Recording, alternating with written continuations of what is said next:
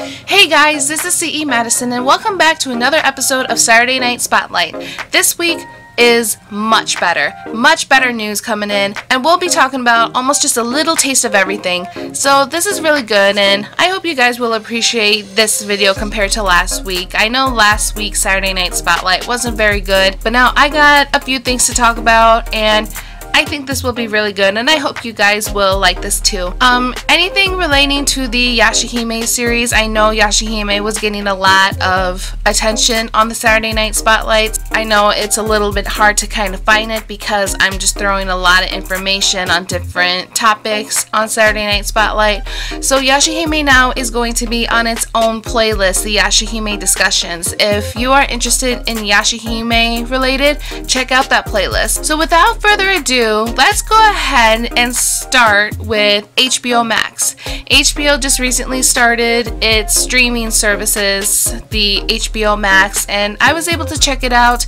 There were some good titles in there. Uh, you get a good list of everything. You have even a section just for Studio Ghibli if you are a Studio Ghibli film person. And Studio Ghibli is like the Walt Disney of Japan. Studio Ghibli, I can't think of anything bad to say about Studio Ghibli. One of my favorite films is Princess Mononoke. I would suggest for you guys to check that out. And there was a film that's on HBO Max that was recommended to me in Ghibli um, The Wind Rises, I believe that's what it's called.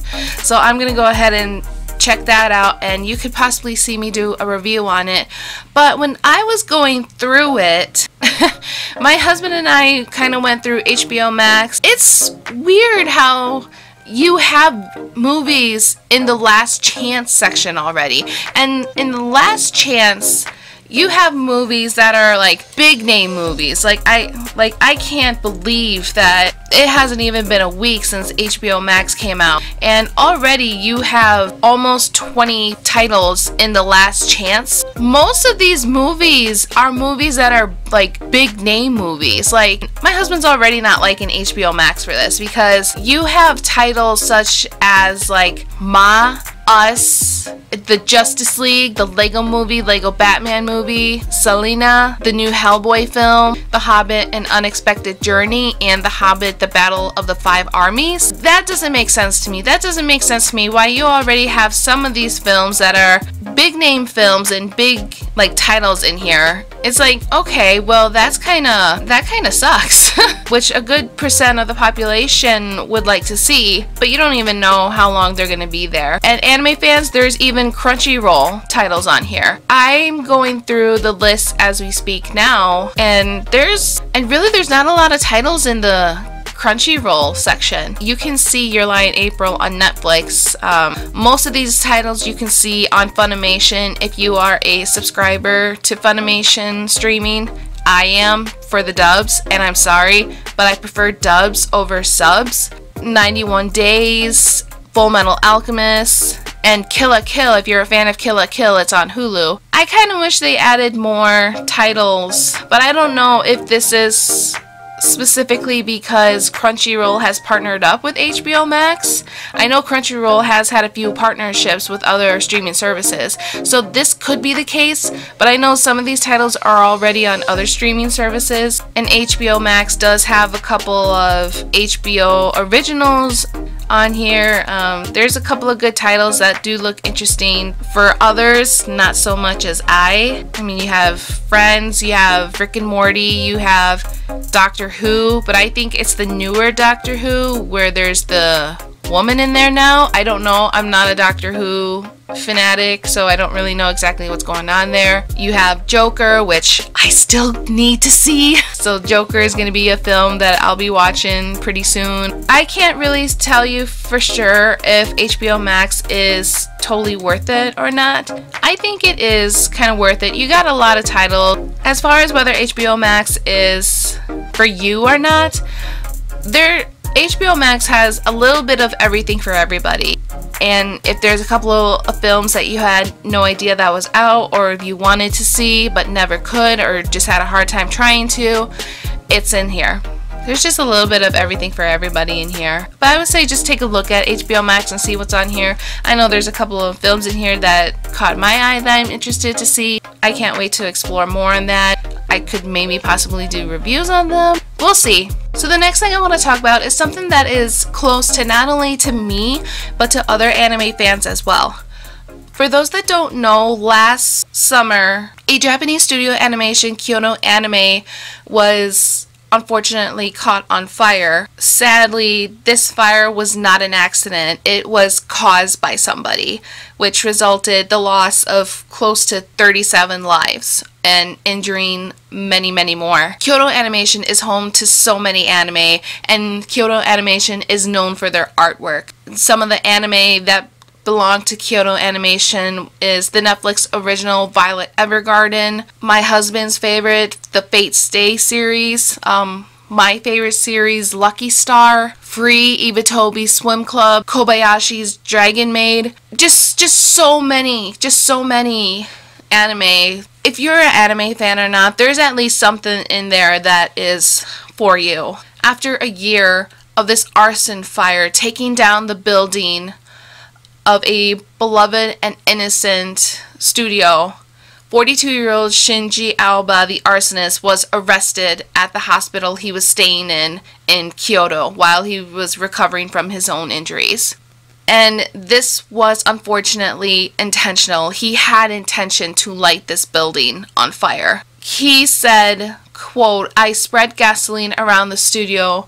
I lit it with a I lit it with a lighter. And the reason for the long gap for his arrest was in addition to following the legal system, there was also the the COVID-19 outbreak. But Wednesday after he was fit to be transferred out, that's when they made his arrest. And I am so happy that they finally finally finally finally gonna get justice against this guy. During this time while he was being interviewed with the investigators, he said, quote, I had a grudge against KyoAni. And it was apparently referring to his failed entry to a novel writing contest, which I think is so pity. Just a small loss like this would make him have a total grudge against a Japanese studio, which I'm sure they're just following like their own guideline policies and rules and stuff. It's not their fault. And he continues on by saying, quote, I thought that if I sprayed gasoline around the building while setting the fire, I could kill more people. So that's why I did it. And it's it's disgusting. I can't stand this dude. I can't stand how he can just do something like this and he costs 36 innocent lives that were just doing their job. And this is how they're being thanked. When the investigators and the police told him that 36 people died from the attack or later because of their injuries, the first thing he said was, quote, "Oh, is that so? I thought maybe about 2 people died."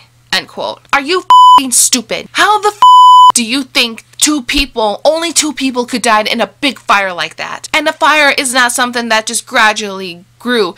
When you throw gasoline on a building like that, the fire is going to spread. In addition to other natural elements that's in the building that could help the fire grow, that doesn't help either. What's sad about this is that it was intentional. He had intention of wanting to kill people. He had intention to hurt people, all because he couldn't move forward with a writing novelist. And that just goes to a silent grudge for this person. And honestly, I hope this guy gets what he deserves. I really do. Kyoto Animations are having a hope that he'll be prosecuted to the full extent of the law, as he should be. Those 36 innocent lives will finally get the justice that they deserve. And while that building is no longer there, it is being set up for the memorial for those that have lost their lives against this horrific attack. Moving on to a more happier topic now that I kind of got that small little tangent tantrum out. After the big success of Sonic the Hedgehog in February of 2020 before the coronavirus came into play, it has been confirmed that our favorite Blue Hedgehog is getting a sequel. It is one of the underdog genre's biggest victories ever. First originally being started as a video game, now moved to a movie. The expectations to everybody is it's it's going to be another failed video game movie. But actually, Sonic was able to rise out from the underdog level as it made $306.8 million worldwide at the box office. No video game film was able to make that goal in the box office. It was originally supposed to be released in November of 2019, however, with the failed concept art of Sonic, the fans had an outrage. They were putting their entire opinions out on social media that the look of Sonic was so. It was nothing like our favorite blue hedgehog. This creature was a monstrosity. We can't even call it Sonic. We had no idea what it is. So with the director and the producer hearing the fans, they delayed the film to come out in February of 2020 while fixing Sonic's look. And I am so glad they did. I'm really glad that they were able to stop and listen and say, okay, we know what you guys are saying. We will delay the film to fix Sonic's character. And I'm so glad they did. I really am glad that they were able to do that.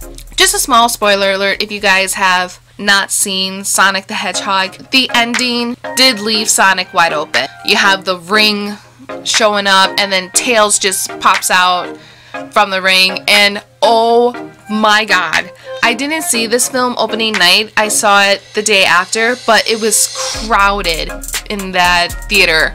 And the cheers and the uproar when Tails came out, it was like, oh my god, you did it. You obviously are going to say that a sequel is coming because you just got everybody's hopes up.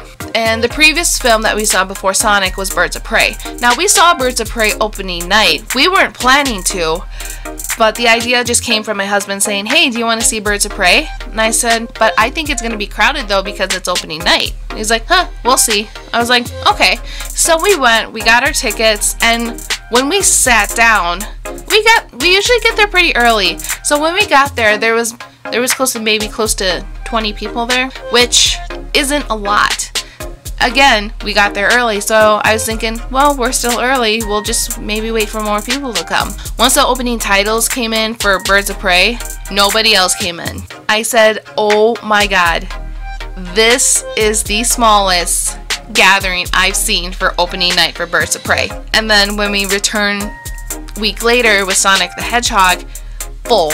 It was full, it was packed. I said, I'm so glad I got my tickets. I can't believe how packed it was. So confirmed is the sequel to Sonic the Hedgehog. We don't know much about it. All we know is that obviously Tails is going to come into play. And I can't wait for Tails. So if we have Tails coming, who knows who else is going to be coming? There was obvious hints and theories that in the beginning Knuckles made his appearance while he was chasing Sonic. So maybe we could see Tails and Knuckles next movie? Maybe? Please? Pretty, pretty, please? And um, can we somehow hint Shadow in there also? He's my favorite hedgehog. Please? Please? So moving on is we have Henry Cavill to make his epic return as Superman. I don't really know exactly what is happening with this. Um, DC is not my most thing to follow on. but um, looking at Variety.com, it looks like Henry Cavill is planning to make his epic return as Clark Kent slash Superman in the upcoming DC films. Henry Cavill, for those that don't know, is very known to play Superman, and he was Superman in The Man of Steel, Batman vs. Superman, which I didn't think that was a great movie to be honest, and the Justice League. I have not seen the Justice League either. I heard it wasn't very good either but my husband and I were planning to avoid Justice League overall until we heard of something called the Snyder Cut. Now, now to my understanding what my husband and I were discussing last night, the Snyder Cut is kind of like a director's cut. There was things that Snyder wanted to put in the Justice League film, but Warner Brothers said no. And Snyder said that the Snyder Cut for the Justice League will eventually be coming out to HBO Max, which hopefully that will be the case. And for Henry Cavill, there are rumors that he could be um, coming in for cameos like Aquaman 2 and the Batman. And nobody knows exactly who Superman was at the end of Shazam, but they're hoping that um, it is Cavill. Coming from the words of Henry Cavill, he says, quote, The cape is still in the closet. It's still mine. I'm not going to sit quietly in the dark as all the stuff is going on. Good good for you, Henry. Good for you. I can't wait to see your return for Superman. And in addition to Superman, he's also made an appearance in Mission Impossible Fallout, and recently he is Geralt of Rivia from The Witcher. And speaking of The Witcher, for those that don't know, The Witcher is greenlighting of season 2. Hopefully we might have a better understanding of, of the timeline for the season 2 compared to season 1. And let's just say, without my husband by my side, I wouldn't have a clue of exactly what the hell was going on in The Witcher Season 1. I guess I can just do like a small tangent of The Witcher. The Witcher was originally based by the books, and you also have the video games with it. And I think that's how The Witcher got its popularity was because of the video games. Pay attention to the timelines, because one thing that I think failed was that it didn't say this timeline, this timeline, and this timeline. And this is where I say, thank God my husband was here, otherwise I would have been totally lost. When we first see Yennefer and just kind of her origin story, that takes place 50 years ago. And the scenes where we see Geralt, that was 15 years ago.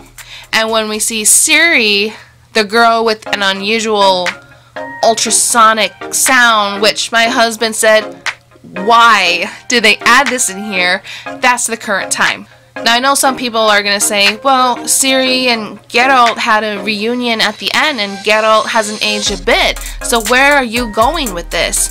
Well, as of Geralt being the Witcher, he's not human like us. He ages slowly compared to the other humans, so and that explains why his appearance doesn't change.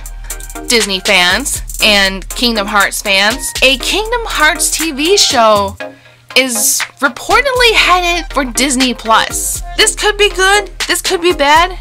Um, I I'm really hoping it's good. Kingdom Hearts is rumored to be a TV show rather than a film. Thank God.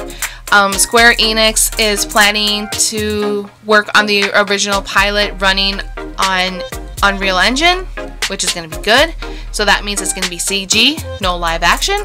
Great, great, great, great, great, great news is that they're not gonna butcher some of these characters. The Disney voice actors who originally appeared in the video games are going to make their return. So, for example, Jim Cummings, who played multiple Disney characters, one is like Winnie the Pooh. Winnie the Pooh is in Kingdom Hearts. Winnie the Pooh could possibly come back to the Kingdom Hearts TV show. Adding to that is Bill Farmer, Tony Anselmo. I'm really happy with that. And there's no word whether the actors that played like Sora, Kairi, Riku, there's no word that they're going to come back for the TV series. I think they should, to be honest. We can get that same feel of Kingdom Hearts. And if all goes well for this Kingdom Hearts TV show, it could be good for those just wanting to kind of get a refresher of the game, even though I should be finishing Kingdom Hearts 3 rather than playing Assassin's Creed Odyssey.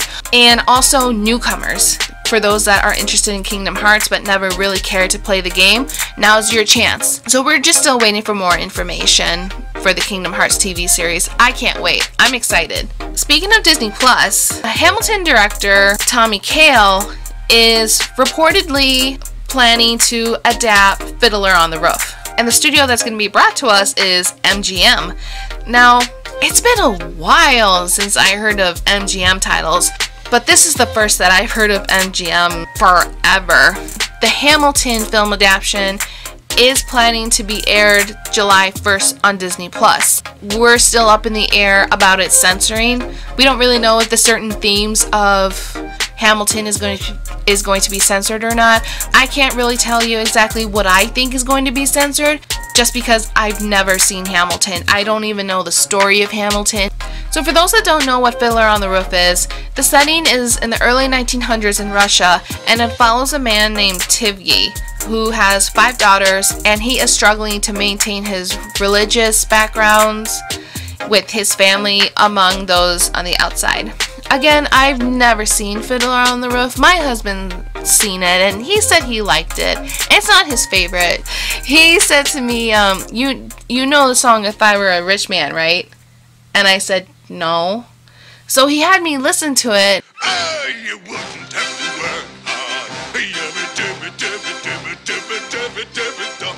And as soon as I finished listening to the song, I said, why does that song sound so familiar? But that was just something I just kind of want to throw because I just thought it was a funny point. But that's the end of Saturday Night Spotlight. Thank you guys so much for stopping in and checking out exactly what's going on. Thank you for holding in my little tangent tantrum of KyoAni. That studio just holds something dear to me, to my husband, to many other anime fans in the world. All anime fans have at least one anime that they love that came from KyoAni. The Fate series is close to my husband's heart. Lucky Star is close to my heart. Justice will be served and I can't wait for that day to come. If you like this video, like, subscribe. I have a bell now, so if you're interested in just the Saturday Night Spotlight films, click that bell to be notified for the personal videos or all my videos if you are interested in all of my content. Thank you guys so much, and we will see you next week on Saturday Night Spotlight. Our simplest prevention is our biggest protection. Take care of yourselves and others as you practice social distancing, washing hands, and staying at home. Let's get better by starting to make our world better to reduce the spread of COVID 19. See you later on another day.